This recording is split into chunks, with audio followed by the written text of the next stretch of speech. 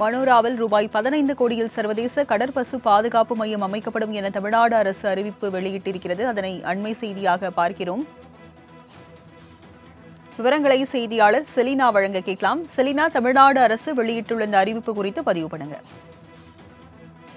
தஞ்சாவூர் மாவட்டம் மனோகராவில் குறிப்பாக பதினைந்து கோடி மதிப்பீட்டில் சர்வதேச கடற்பசு மையம் என்பது அமைக்கப்படும் என்று தற்பொழுது தமிழ்நாடு அரசு தெரிவித்திருக்கிறது.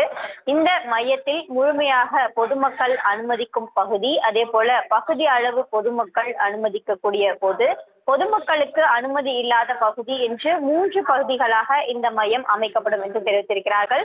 பொதுமக்கள் முழுவதுமாக அனுமதிக்கும் பகுதியில் கடல் பசு வடிவிலான மையம் அருங்காட்சியகம் நான்கு போர்டி அரங்கம் அதே போல பூங்கா திறந்தவெளி அரங்கம் உணவகம் வாகன நிறுத்துமிடம் செல்ஃபி பாயிண்ட் மற்றும் குடிநீர் வசதி அஹ், உள்ளிட்ட மிகப்பெரிய அளவிலான முகப்பு ஆகியவை இடம்பெற்றிருக்கும் என்றும் பாதி அளவு பொதுமக்கள் அனுமதிக்கும் பகுதியில் பயிற்சி மையம் கடல் பசு கண்காணிப்பு மையம் ஆய்வு உணக உணவகம் உள்ளிட்டவைகள் அங்கு அமைக்கப்படும் என்று தெரிவித்திருக்கிறார்கள். முழுவதுமாக பொதுமக்கள் அனுமதி இல்லாத பகுதியில் தங்கும் இடங்கள் அனுமதிக்கப்படும் என்றும் நானூத்தி நாற்பத்தி எட்டு சதுரடி கிலோமீட்டர் பரப்பளவில் தஞ்சாவூர் மற்றும் புதுக்கோட்டை மாவட்டங்களின் கடல் பகுதியில் உள்ளடக்கி இருக்கக்கூடிய பகுதிகளில் இந்த கடற்பசு பாதுகாப்பிற்காக ஏற்கனவே அறிவிக்கப்பட்டிருக்கக்கூடிய இந்த கடல் பசு மையம் என்பது அறிவிக்கப்படும் என்று தற்பொழுது தமிழ்நாடு அரசு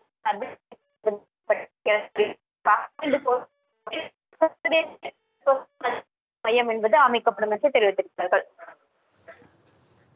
விவரங்களை வழங்கியதற்கு நன்றி செலினா.